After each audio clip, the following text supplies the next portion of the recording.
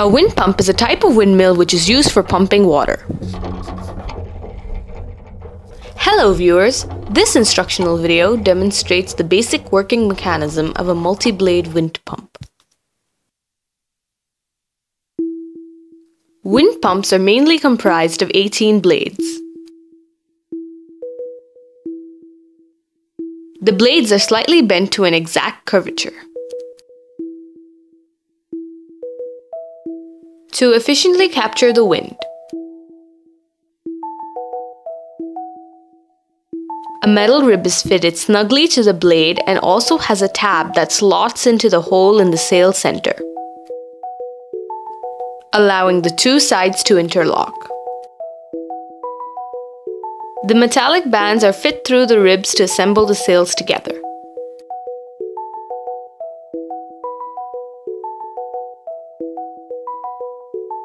The wheel arms that are screwed into the metallic hub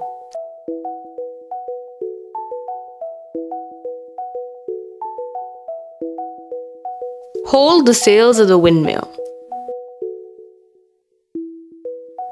The sail structure is mounted on the wheel arms.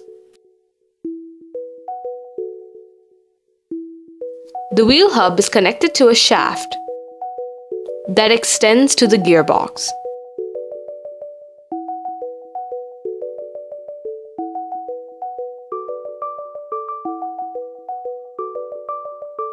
The shaft, which is connected to the wheel hub, has two gears mounted on it in the gearbox. As the gears rotate along the shaft, the bigger gears that are meshed to them rotate in the opposite direction.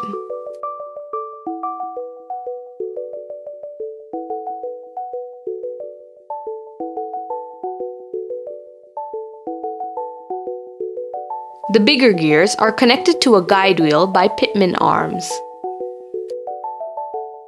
The guide wheel is mounted on a pitman guide that allows it to slide up and down with the rotational motion of the connected gears.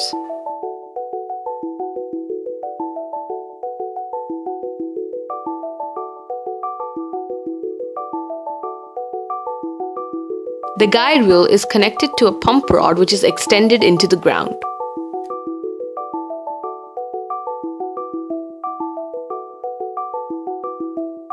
The pump rod goes through a cylindrical drop pipe inside the ground.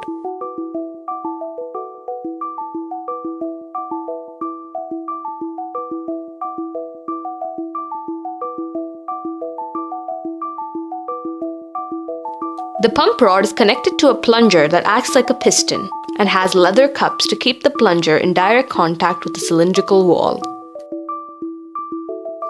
and allows water to pass only through the valve when the plunger is making a downstroke.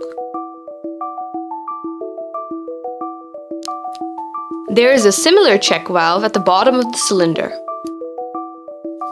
that is fitted to a strainer below the water level in the ground.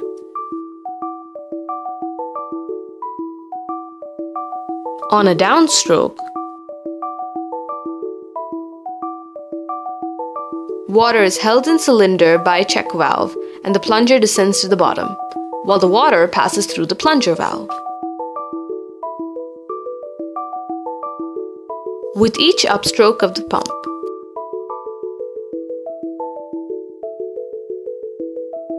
the plunger forces a cylinder full of water into drop pipe.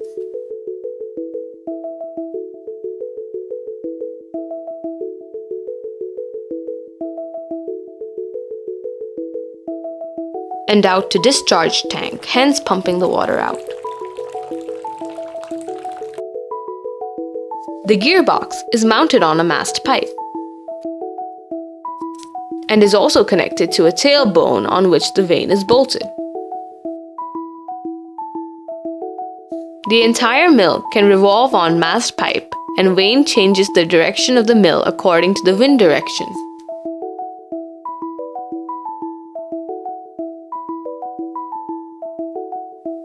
Note that wheel hub or shaft is offset from the mast pipe and also the tailbone is offset on the opposite side of the mast pipe. The gearbox has a vane spring attached to the tailbone.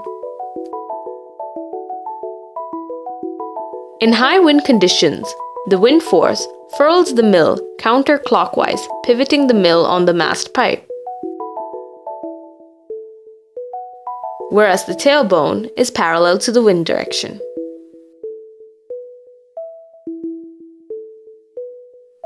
The tension on the vane increases as the mill is furled and holds the mill into the wind or higher wind velocities.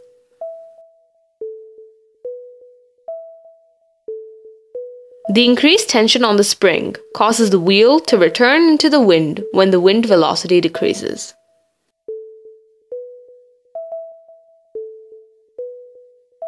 Wind pumps have been used since the 9th century used extensively for irrigation purposes, and provides water as free as the wind. Thank you for watching.